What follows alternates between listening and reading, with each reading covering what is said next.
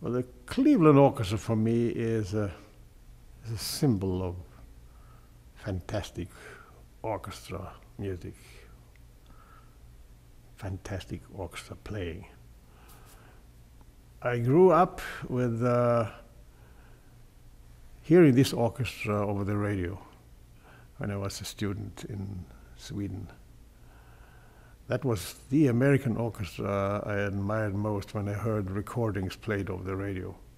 And we had just a small, small uh, Telefunken box, not this big, with a, with, a, with a dial that you could uh, put back and forth, and you could hear, and suddenly you heard some wonderful music. And sometimes I heard this, this Cleveland Orchestra, Cleveland Orchestra. Oh! Uh, another time I put the dial and I heard, you heard the Sächsische Staatskapelle in Dresden under the directed by Karl Böhm, and the Mozart variations by Max Reger. Oh, I was thrilled with those kinds of sounds. And later I heard the, the, the Dvorak's Slavonic dances, the Cleveland Orchestra, directed by George Szell. That made you know, some ideal pictures for me of here. This is what it can be.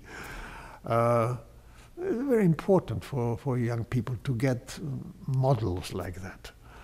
Uh, I remember once on tour in Japan, we had played in a new concert hall, and I went to my hotel afterwards, and when I stand in the lift and wanted to go up in the lift, there was a young Japanese boy running after me. He had been running all the way from the concert hall. And he was, you know, out of breath. and he wanted to say something. And what did he say?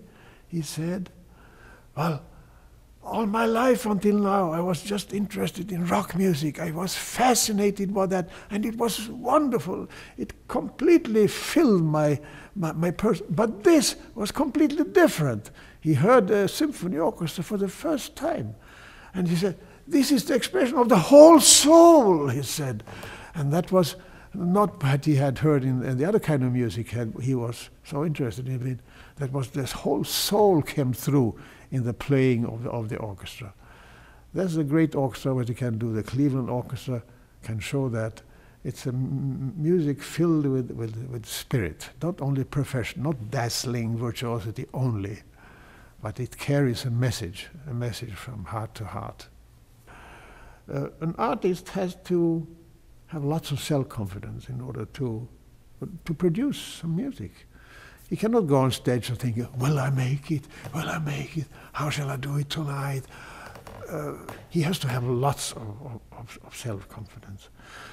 But the moment it goes too far that he thinks, I can make no mistakes, uh, I'll show you that I am the best, then uh, he cannot develop any further. He has locked some doors.